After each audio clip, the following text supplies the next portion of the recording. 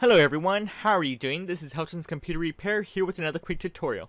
So you got LibreOffice installed, and you pretty much tried to create your new document, pretty much like a Word document or an Excel or a PowerPoint, but somehow when you save the file, it gets in a different format, and let's say your professor or another person that's opening the file, like for Office, and doesn't want to be able to get it, or if they don't have the options to open it.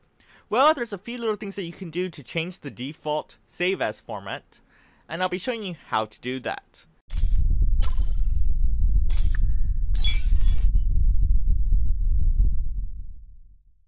So let's go ahead and open up pretty much the first one called the writer document.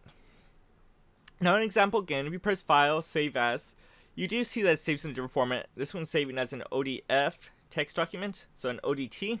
And that's usually the problem. And to choose this, you can just choose the file and select Word where it says 2007 to 365. That's pretty much Office 365 as a doc X right here. And that'll be a little bit pain to do this every single time. So to fix this problem, all you have to do is go to Tools and then go to Options. Then from there you'll see an option where it says Load and Save. Go ahead and expand that file and select General. And right here where it says Always Save As, we're going to go ahead and change this format. So this one right here is pretty much a Word document, so it's just a text document. And we're going to change this format right here to be a Word 2007 to dash 365. That's pretty much the doc X for used for Word from Microsoft Office, pretty much. And you can press apply. Now we've got this one set, but instead of having to open up every single other program like the presentations one, or the one that's pretty much for the ca calculations, pretty much, eh, was it called, Excel, we don't have to open those right now. We can go to the next one and choose like the spreadsheet right here. And spreadsheet right here would be the Excel one and press apply. And the next one that we can choose for this is the presentation. That would be pretty much the PowerPoint. PowerPoint presentations, pretty much.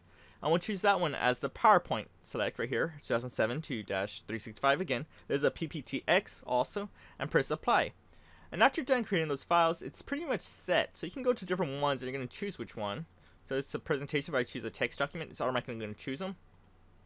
If I choose a spreadsheet, it's already choosing an Excel. If I use a presentation, it's going to choose a PowerPoint on the PPTX, pretty much. So I'm going to press OK. So now if I open up the writer, pretty much Libre writer, that's pretty much the word. I'm going to press Save As. And here is the default Save As type. Now if you don't believe me by changing that settings and you're not going to have to read this to every other one, then let's go ahead and open up LibreOffice again. And I'm going to go ahead and choose pretty much the spreadsheet right here, the calculation spreadsheet. And I'm going to press File, Save As, and here's the default format right here in Excel. Now to show this again right here, you can open up the LibreOffice the same way, and you can choose the Impress presentation, and it'll open up the program. Now, if this is being so much a pain real quick, I just want to show you another options to open up these programs. You don't have to open up LibreOffice, just another route. You can go to the Start menu, and scroll down to see a folder called LibreOffice right there. And you can just choose the same way as like an example the LibreOffice impressions right here. And you can select it. It gets you the same location for it. So on this one I'm going to go ahead and press cancel because I don't need a specific template on there right now. I'm going to go ahead and press file save as. And here it is already set up for PowerPoint format for Microsoft Office. And that's pretty much it.